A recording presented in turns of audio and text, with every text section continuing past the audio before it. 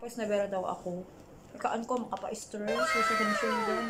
Tapos ano, Ilocano ka, kano, kat kuripot ka. Madi, hindi kuripot daw ako.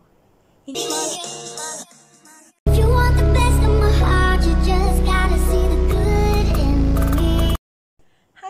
mga ka-amazing! It's me, Jaya Chin. Welcome back to my channel and it's back for another videos. For today's vlog, so magbabasa po tayo ng assumption about to myself. But before that, please don't forget to subscribe and tap the notification bell so you'll be notified on my next video. Just check this out! Tagal mo na ng makeup para maganda maganda naman tayo sa ating camera.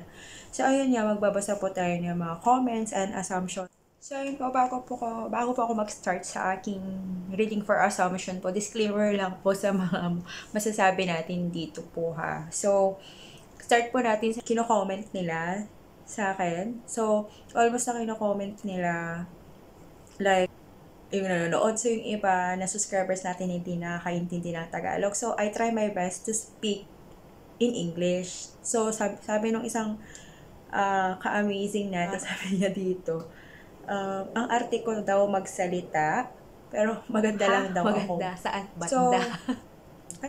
so, kasi po, may braces po kasi. Kaya, mahirap po magsalita pag may brace kasi yung gilagid mo sumasagi, tsaka masakit, nasakit suna. So nga, kasi ka nga agsaon.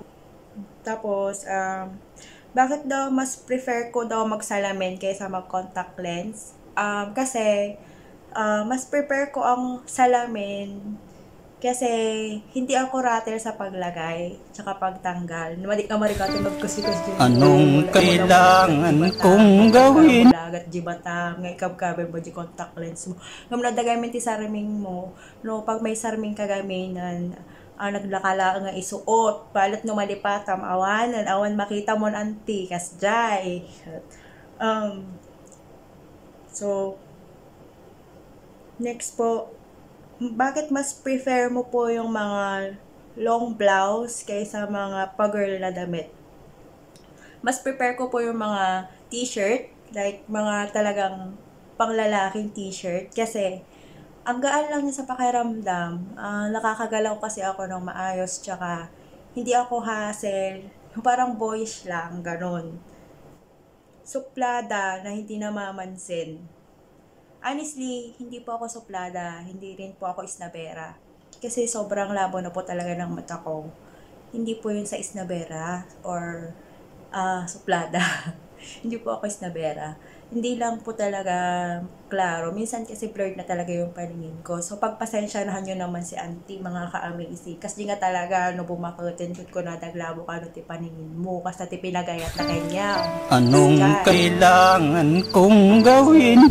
Siya po yung babaeng hindi nagpupulbo. Opo, hindi po ako mapulpuhing babae. Mas prepare ko na lang pong mag-sunblock. Ajag moisturizer kas jay. Feel ko nga talaga ti naka-sunblock or naka-moisturizer. Naggaan lang gamit ti pakiramdam mo no kas jay lang ti kabin mo ti rupa mo kunada. Gaan, gaan ng feeling. Ang gaan. Kunada. Naggaan lang ng feeling kas jay. Ang dami naman, hindi ko na mabasa lahat ng mga ano nila, mga sinasabi nila sa akin, grabe.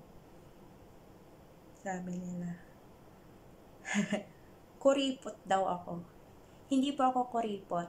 Uh, prefer ko lang po talagang mas nagbabudget po ako, mini-minimize ko po yung, yung pera. Ah, uh, disclaimer lang ah, no Ilocano ka, kano kat kuripot ka. Hindi po kami kuripot. Ako, Ilocano ako, pero hin, hindi porket minabudget mo yung pera mo is kuripot na yung ibig sabihin nun. Hindi, mas, um, mas pinapahalagahan po kasi namin yung pera. Kasi galing yun sa pawis mo eh. Hindi mo naman yan instant na nakuha. So, you have to budget your money. Wiser, maging wise ka, ganon. So, yun lang, yun lang yung mga payo ko. Hindi porke Ilocano ka, sinasabihan ka kuripot. Hindi po. Practical po ang tawag doon. So, nagiging practical ka lang sa pagbabudget ng pera. Yun po yung pinakamaganda doon. Kung sasabihin ka ng kuripot, accept it. But, in positive way. Ganun po kasi ako. Pag sinasabi ako ng kuripot, so, ina-accept ko po siya in positive way. Ganun po yun. So, mm, siya po yung babaeng hindi nag-aayos ng kilay. Yun po. Ah, hindi po talaga ako nag-aayos ng kilay ever since. Basta sabog-sabog lang siya. sabog po ang kilay ni auntie. Ayan po mga ka-amazing. Siya, hindi po talaga ako, hindi ko po siya talaga inaayos. Wala lang akong pakialam doon kung sabog. Ganun. Ganun lang yun, auntie. So, kanya-kanya tayong life, kanya-kanya tayong prepare sa kilay. Kung sa, kung yung iba kilay is life, ako naman kilay is sabog is life. Ganon. So, ayun. Kalog. Ngalo-kalo ka. Oo. Ah, sabi po kasi nila dati, minsan pag hindi pa nila ako kilala, sinasabihin ako na, ano daw, seryoso. Di kasday. Garod. Ayan, garod nga eh. Kasi garod. Ah, tapos, mm, bagada pa eh nga, siya yung babae, hindi pala makeup. Opo, hindi po ako pala makeup. Minsan lang po talaga ako mag-makeup pag trip ko lang. Gaya ngayon, hindi ko po tinanggal yung makeup ko para sa vlog na to. so, para maganda naman si auntie, hindi naman tayo mukhang gusin-gusin. Ganon! Net mga ka-amazing. So, One eternity later. kalog ka no? Win kalog na palog na nga tal- talaga. Handa lang ah, han ko lang ang uning nga ipakpakita. Baka masubra. Kasi jay siya po yung magaling kumanta. Hindi naman, hindi naman po ako galon kagaling kumanta. Kumakanta lang po ako, may boses lang po tayo. Kasi sali-sali lang itik ko ah. Kung, kung pa event-event lang kasjay. Bayadan na ka 100 kasjay, mabalinan, pangkaanan kasjay. Hmm. Awan ba't tinagalas nga? ah, sabi nung isang, ano, isang nag-comment pala. Dati minsan lang siya maligo. Hindi naman minsan. Yung sa one week, hindi ako naliligo. Alternate naman yung hindi ko pagligo. Pero nagsha-shower naman ako. Kasi nga, yung natural oil ng buhok, yun yung inaano ko. Kaya alternate naman yung pagligo ko. Kaya ganun talaga.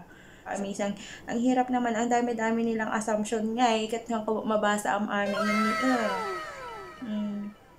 Follow up. Ito pa yung follow up nila, yung ano, suplada na friendly. Opo, ah, akala lang nila suplada ako, pero po ako suplada. Mukha lang po ako suplada, pero hindi po ako suplada. Friendly po ako. Friendly po ako. Madaldal. Disclaimer lang, yung pagka madaldal ko, in a good way. Tsaka, may mga, ano, mapupulot ka talagang mga aral, yung pagka madaldal ko. I giving you advice or idea in life, ganun. Mga pangbato naman sa mga ano ba, ganun mahilig gumala. Unfortunately, recently lang ako mahilig gumala, pero taong bahay talaga ako. Hindi po ako masyadong palagala. Yun po. Mm. Magaling magluto. Natikman ko na po yung sisig niya. Ng isang ano. Ah, opo, pinaka masterpiece ko po talaga yung sisig na chicken. Pero dati hindi po talaga ako marunong magluto ano lang, pacham, ganon, pacham lang, patam, ganon, pachamba, patam, tawid, gutom. mga ganon po. So, lately, ah, ano na lang din nung siguro mga nag-graduate ako ng college, dun na ako natuto. Kasi yung, alam mo na yung mga ano natin, kailangan nating matuto sa mga bagay-bagay kasi nagiging, ano na tayo, naging tumatanda na tayo, kailangan na nating aralin yung mga bagay na dapat aralin, ganon. So, mm, sabi pa dito, sabi nung isang ka-amazing natin na grabe talaga. Ito ever since, hindi ko siya kilala nung college, pero grabe, shout out ko na siya dito. Salamat sa'yo, Mr. F, sa nagbigay ng ating mic na ginagana- ginagamit ko para makapag-cover. Salamat po. Ah, ang assumption niya dito sa akin, kilala siya ng campus, ah, pero isnabera siya. Hindi po, honestly, kasi syempre ako, nagjo-join po ako ng choir, ng chair dancing, ng um, dance competition ng college. Syempre kami, kilala kami, but in the other department, hindi namin kasi kilala yung mga tao na nakakakilala sa amin. Kaya syempre kami, hindi namin papansinin. Pero hindi naman porket ganun is nabera na kami or hindi na mamansin. Kasi hindi naman lahat ng nasa campus nyo ng college, kilala nyo lahat. The entire people na nandun. Siyempre napapanood ka nila, hindi naman ako ganun kasikat. Like, I'm not claiming this, this, this, this, ano, this situation, hindi ko kiniklaim yung mga ganong bagay. Kasi, ang gusto ko lang dati mag-enjoy lang ako nung college kasi may I want to show my talent. I want to show na may poses ako, gano'n. I know how to dance. Hindi naman ako gano'n kagaling sumayaw, pero sumasayaw naman ako. Um, gano'n lang. Hindi ko, uh, I'm not intentionally na para maging kilala lang. No, hindi. Because, no college kasi kailangan mong gawin yun para nakasurvive ka. Kasi may mga kita doon eh. Kailangan mong kumita kasi ah kailangan mong magkapera kasi pinapaaral lang din naman ako. So, nagjo-join ako sa mga ganong bagay. It's not it's not my intention to be famous or to be knowing for other student before. Hindi po. So, ayun lang po. So, salamat po sa pag-watch. Um, maraming maraming salamat po sa ating mga ka-amazing subscribers, sa mga friends, and yun lang po. Ah, thank you. Can we just talk? Can we just talk? Figure out